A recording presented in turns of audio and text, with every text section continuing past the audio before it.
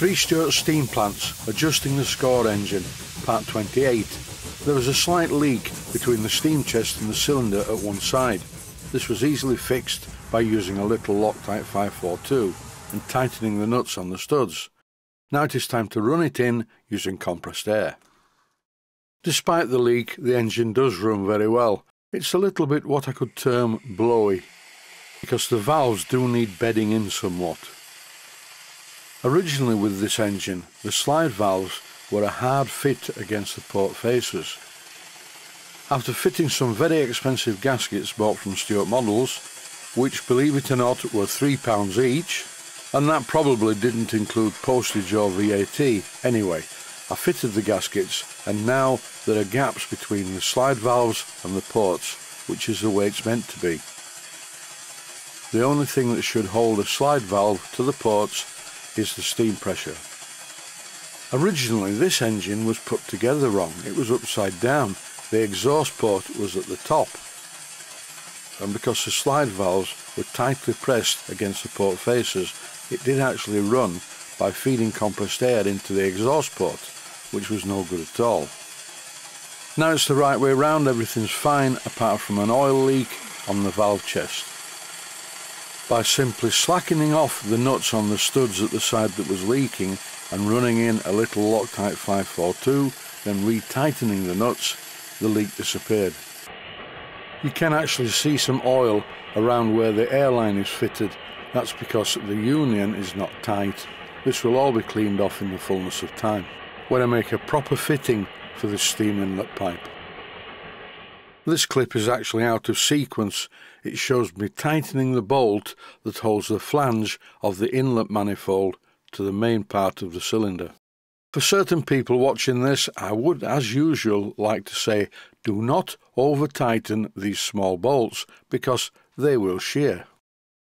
As you can see, I've not managed to shear them off.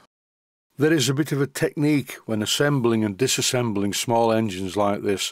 You need to put just enough pressure on and no more. You'll learn after a while, once you've drilled out quite a few broken bolts, that it's possibly not a good idea to over tighten them. I speak from experience from a long, long time ago. Now the engine's running and nothing's leaking around the steam chest. So that's job done. There's a bit of run out on the flywheel, but I can't really do anything about that.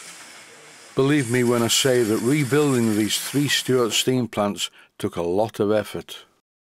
Here's another clip of the oil running out of the temporary airline fitting. This is not a problem, but I just wanted to show it one more time. I think it's time to run in this Score engine. A Score engine is very much like a double 10V on its side, but the bed plate casting and the trunk guides are much more rigid than on a double 10V. This engine runs really well now, and it looks a lot better than it did originally. And these engines are capable of running at a really high speed. As you can see, the motion is a blur. I ran the engine at this speed for quite a while, but I did stop it periodically to inject some oil into the cylinder input. And although you can't see it, the oil coming out of the exhaust still is a little bit black as everything beds in. When the oil runs clear from the exhaust pipe, then one could say that the engine is successfully run in or broken in. I'm frequently cleaning the oil splashes off parts of the engine. This is not a problem, it's just for the video. If you rewind the video to the start of the running in process, you should see that the engine is running more smoothly and slightly differently than it did at the beginning. And this is largely due to the fact that the slide valves are bedding in on the port faces. And now the engine doesn't sound quite as blowy as it did at the beginning, and it runs very slowly indeed. This of course is slow motion from the video point of view, but the engine will run at this speed quite happily. In fact, it will run slower than this.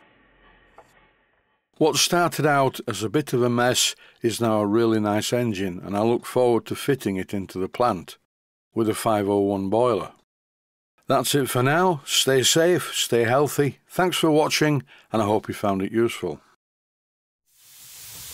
Please take the time to visit my Mainsteam Models website and click on the section of the website that says video playlists and by doing that you can find other videos that you may like to watch and by using the playlists you can actually watch the videos back to back